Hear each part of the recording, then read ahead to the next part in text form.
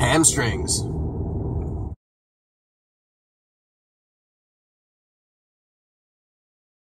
So today we're doing hamstrings. It's a very neglected body group because it is an antagonist of the back, which people don't do because they're busy doing chest. Hamstrings is the same kind of a story. People are too busy doing quads to do a lot of hamstrings. And the way I get results is we split it out into its own day. And that way things are a lot more effective, results pile on quicker, and I actually really enjoy hamstring day. It's a pretty easy day. It's still leg day, but uh, you don't have to rev yourself up like you do for quads. The idea with hamstrings is hamstrings are connected in two areas on your leg. The first connection is at your knee. Very simply, it's at the back of your knee. That's where one connection is. And the other one is at your hip. So just like with any other muscle, we're trying to do full range of motion on hamstrings. And one way to do it is to make sure that you're hitting the stretch position at least every other exercise, if not almost every exercise. What does that mean, right? What does it mean that they're in a stretch position? Well, the first part is the muscle has to be completely straight in both parts where it connects to the leg. So the first part is the knee. That's simple. You just straighten the knee, right? So that means that the hamstring behind the knee is at the stretch position. But that doesn't mean the whole hamstring is being stretched because you still have the part of the hamstring by your hip.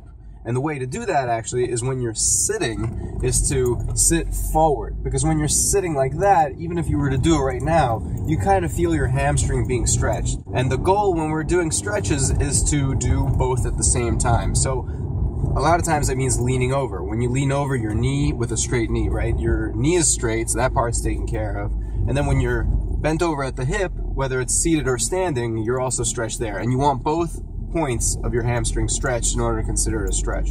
If your knee is straight, but your hip is neutral and you're just standing up or you're laying down and there's no hinge at your hip, that is not a stretch position. You're only stretching in one of the two places. So that is a neutral position. We'll be alternating between neutral position and stretch position. Personally, when I started doing that, my results on hamstring, which were really slow, uh, started to really develop. So that's the goal for today. We're almost at the gym. We're pulling into this beautiful parking garage. Oh yeah. And that's how we do hamstrings.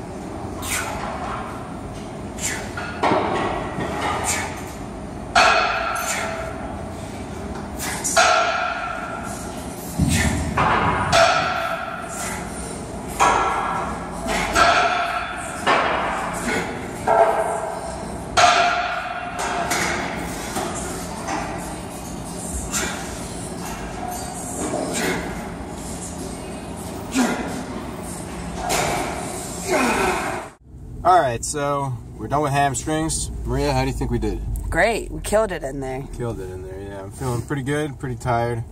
We did a lot of neutral hamstring exercises. We did uh, every almost every one after that was followed by a stretching exercise. So we did a whole bunch of work on them, a lot of heavy, high rep sets. Now it's time to go eat something, right, Maria? Yeah. Yeah. What are we gonna eat? Chicken. I wonder where we can find a good recipe for chicken. If you oh. haven't seen our chicken video, what are you doing with your life? Go watch our chicken video. Uh. All right, well, bye everybody. Bye.